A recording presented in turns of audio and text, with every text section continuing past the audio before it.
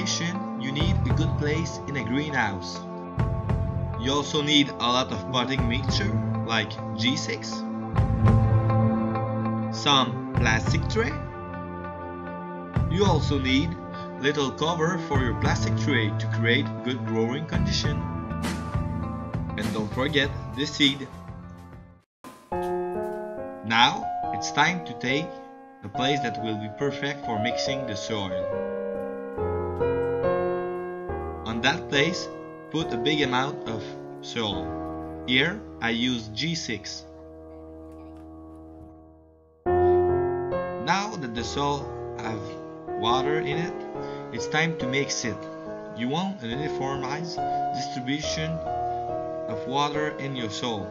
Like this, you will have a good contact between your seed and the humidity. It will favor equal germination. You can bring your tray and put all the potting mixture in it.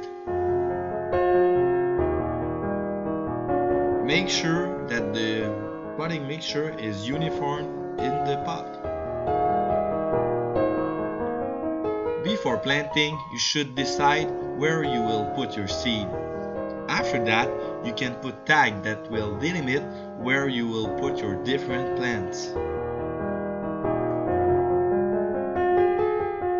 Now it's time for one of the most important steps. It's the seeding. The first thing that I did is that I make little hole in each part of the tray.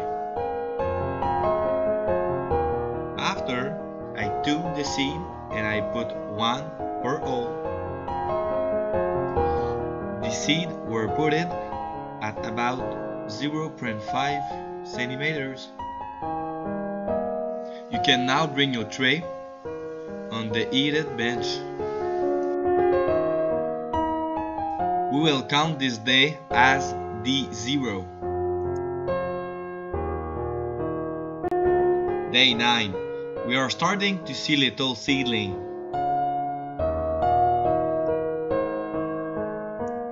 Because the Agromix G6 is really poor in nutrients, I will add some 20-20-20 to the potting mixture. For this, I put water in a pot and I put the, a little amount of 20-20-20 in it. After, I just have to, to mix it and spray it on the plant.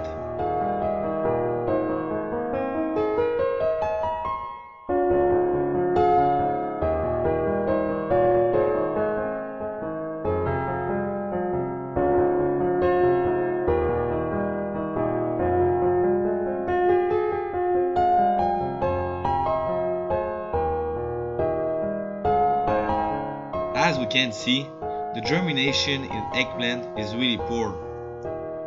Compared to the tomato, this is here, who is much better. Day 25. The stem of the tomatoes seem to be enough big for the grafting clips. But for the eggplant it seems to be too little, so we will wait. At day 32, it has less difference between the stem of the tomato and the stem of the eggplant. So, it constitutes a good day for the grafting. First, let's graft tomato on eggplant. The first step to do is to decapitate the head of your eggplant. You also need to remove the leaf that can disturb you when you will have to put the grafting clips.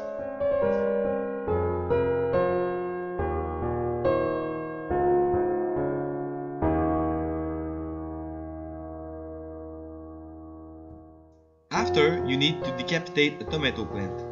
Make sure that the plant of tomato that you choose have the same size of stem than your eggplant. Now that you have your two plants part, you can take a clips that will fit on the stem and insert it on the eggplant. Make sure that it's enough tight to be kept in place.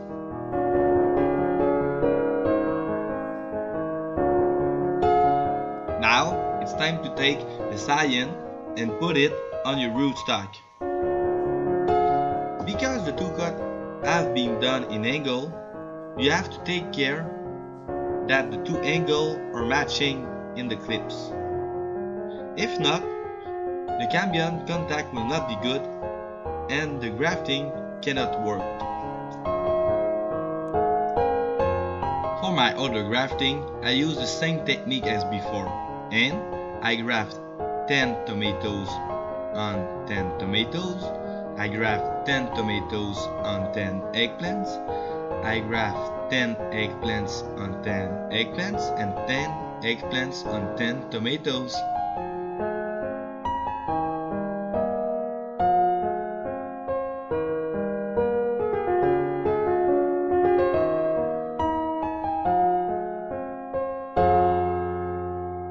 All the plants were put in a mist frame, where the humidity is increased and the light is reduced. Plant also add some wood stick to keep the plant right. When plants were wilting, I just cut leaf to reduce the transpiration. Day 47, taking the result. 4 on 10 eggplant on eggplant live. All tomatoes on tomatoes survive. Only 3 on 10 of the eggplant on tomato survive. Only 2 of the 10 tomatoes graft on eggplants survive. Finally, with the control we can see that the graft plant had a lower growth than the non-graft plant.